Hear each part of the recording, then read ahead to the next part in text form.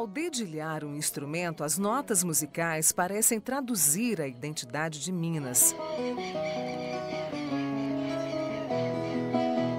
Ecoa-se aquela simplicidade em parar o tempo e prestar atenção numa canção que vem da viola. Uma melodia capaz de transbordar emoção e não importa a geração. Helena e João comungam da mesma paixão. Ainda crianças, davam sinais de que a escolha não seria outra. Vou fazer a retirada, despedindo os paulistanos. Adeus que eu já vou embora, O olhar e a escuta de Tarcísio Mano Véi, com mais de 20 anos dedicados à viola caipira, foram decisivos na descoberta do potencial de Helena. O jeito dela bater os dedos na viola mostrava que ela dominava os ritmos. A gente tem uma palavra que a gente não gosta, que é o tal de resgatar, né? Então a gente, a gente faz esse trabalho exatamente para a gente manter viva né? essa, essa cultura da música raiz, a gente preservar, né? para não precisar de resgatar depois. Então eu acho que eles é, é que estão conduzindo agora para que essa música seja preservada né? para sempre. Para todo mundo, como para nós aqui, eu acho que foi uma, uma inspiração para crescer, para ser mais e para ter levar por muito tempo, inclusive por, por inspirações e disso aí vai até onde não até onde Deus quiser. João, hoje com 17 anos, teve no avô o estímulo para se tornar um profissional da música. Pensou: vou arriscar tocar esse trem. Desde criança, desde, desde bebê, assim, sempre morei com os meus avós e eles sempre tiveram participação muito importante na minha vida. Sempre a maior inspiração para mim foram eles e quando eu era criancinha, meu avô, todo mundo na família muito musical, meu avô me puxou para esse lado assim pegou eu, uns primos ali, uns primos aqui, falou, não, vamos pegar essa turminha aí e botar isso na música, né? Começamos ali, tocar e tal. Logo um tempo depois meu avô foi pro rumo da viola, foi participando de alguma orquestra ali, sempre nos ensaios ali, eu sempre ia junto com ele, vendo assim o povo, falei, ah, mas esse negócio é bonito, né? Vamos correr atrás de tentar aprender isso. Na mesma toada da história estão os jovens Zé Mauro e Arthur. O Zé começou cedo. Aos quatro anos acompanhava o avô nas folias de reis.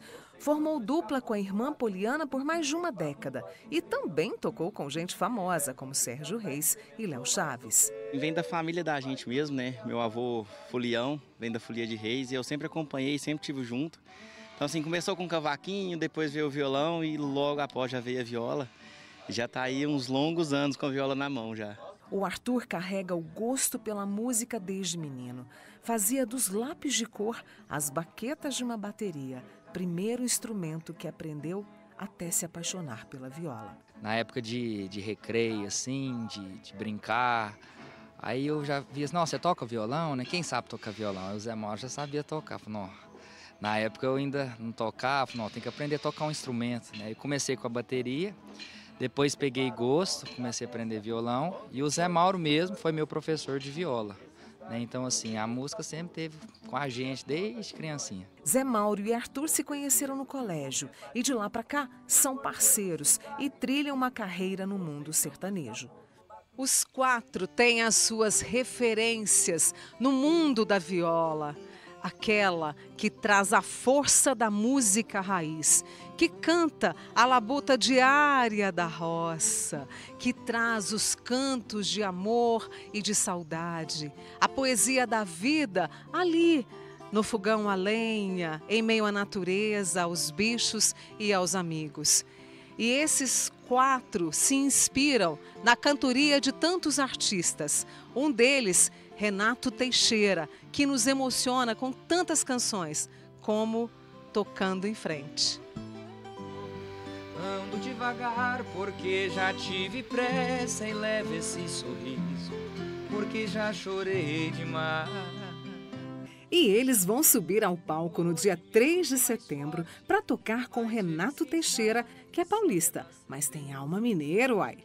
A apresentação faz parte do Festival Cultural Uaiçô, que traz as mineirices em causos, artesanato e muita música. Nós vamos ter exposição de artesanato mineiro, vamos ter produtores rurais com queijo, mel, doces, produtos incríveis. Vamos ter catira, apresentação de catira e também conto de causos mineiros. Isso tudo para iniciar a partir das 16h30. O evento ele ajuda três instituições de caridade e a gente está pedindo a doação de todos de um quilo de alimento não perecível para ajudar essas pessoas que precisam tanto. Esse encontro entre os jovens e os experientes só pode mesmo encantar. E tudo bem se chorar.